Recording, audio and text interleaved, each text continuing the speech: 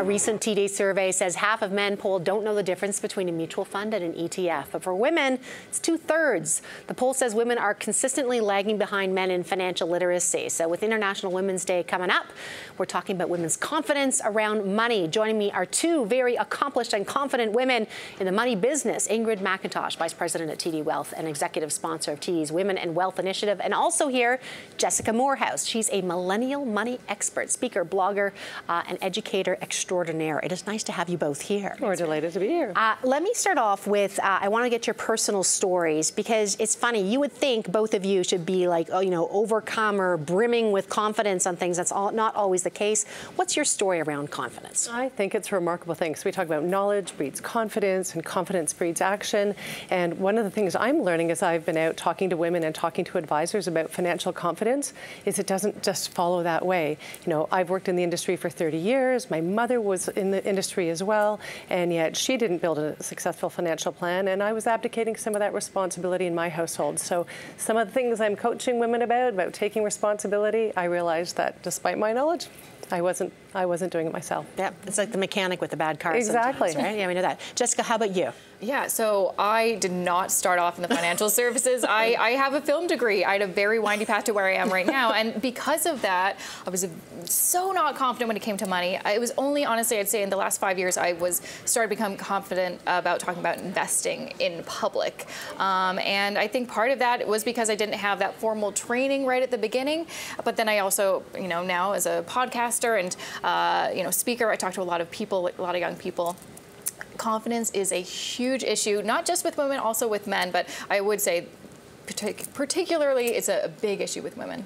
Part of then confidence is, and not all of it, I think part of confidence comes from doing, we know that, but part of confidence is, I think is, um, you know, uh, knowledge. And what I love about both of you is you guys are going to give some real world, I'll say, insight onto some specific things people need to think about when they're building up their confidence. Ingrid, I'll start with you, and yours is uh, very much about, you know, setting a goal, uh, and also I think part of that goal is understanding your net worth. Right. So I think coming back to the statement, knowledge and confidence go hand in hand. And women think they don't understand investing. They don't understand these things. And it's this huge, you know, nefarious thing that can't understand. You got to start with the simple concepts like, what is my net worth?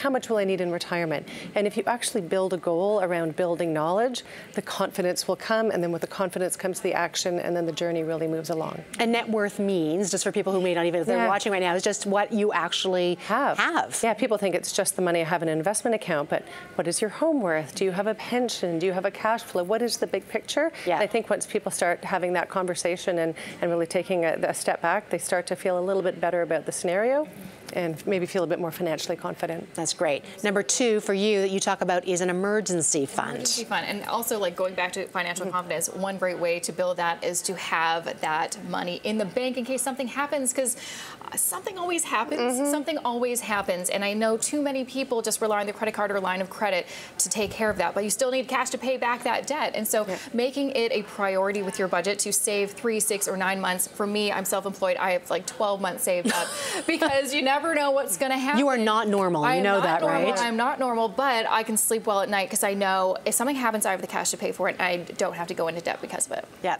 The sleep well at night is really interesting because yeah. I think that dovetails yeah. very nicely into what you want to talk about, and that is about financial risk. And I think the issue for a lot of women is, you know, don't be conservative because women want to sleep well at night. Yeah. But sometimes you have to understand they may not, they may even sleep worse at night if they knew that being conservative was bad for them. Yeah, this is something we see all the time is that concept of risk, right? So people who lack knowledge, they lack confidence, therefore they want to take less risk.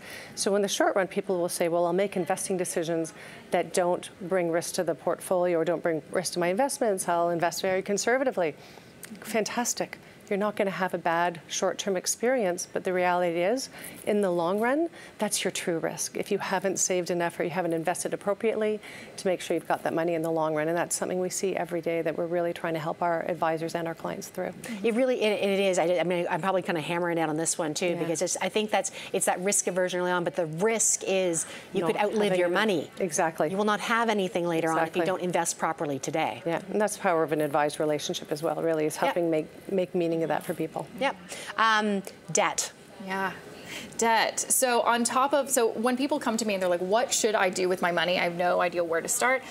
Obviously start with emergency fund. Next is dealing with any kind of debt you have. And I personally don't include uh, debts that are sometimes people called good debt. I would like to call them more like necessary debt. It's like good fats and healthy yeah, fats exactly. and bad fats. Yeah. yeah. Is it necessary? Is it not necessary? Yeah. So a mortgage, you don't need to go crazy. I personally, in this low interest rate right now, I wouldn't go crazy on paying down the mortgage, but your consumer debt, your credit cards, your line of credit, your student loans, things that are charging you high interest, things that it would be really difficult to earn that type of you know interest if mm -hmm. you were mm-hmm. to invest wisely that is what you should be focusing on and make a debt repayment plan and that really means laying out all of your debts what are their minimum payments, their interest rates, um, and what kind of debt repayment plan do you want to do? The snowball, the avalanche, there's a bunch of different ones that you can choose and then make a plan and have deadlines for every one of them and then start making auto contributions so you can get this debt paid off consistently and automatically. Let me ask for someone who's watching, and I've got about a, a minute here, I want to just touch on like if you're just don't know where to start. I mean, you've been talking to a lot of women, you talk to women all the time, but like how do you just, how do you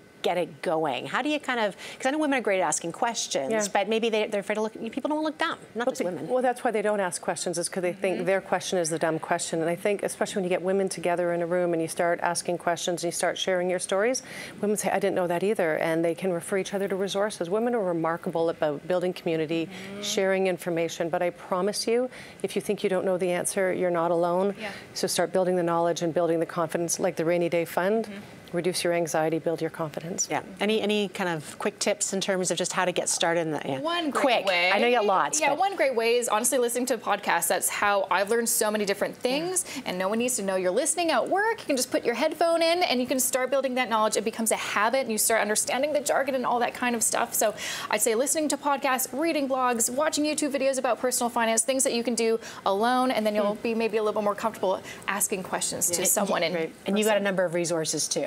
I know, certainly and Jessica and I have yeah. been talking about this. I think about within our own organization, you know, on WebBroker, we have a whole learning center, and it's everything from mm -hmm. the mm-hmm. basics to to the most advanced. But that's just one example of all the tremendous resources mm -hmm. that are out there. Jessica's yeah. blog. There's something for everybody. Yeah. Well, thanks to both of you. You've done uh, a good service in terms of talking to us, and uh, it's great to have you both here. Ingrid Macintosh, Vice President at uh, TD Wealth and Executive Sponsor of TD Wealth and Women Initiative, and Jessica Moorhouse, financial blogger and educator of what's the podcast? The Mo Money Podcast.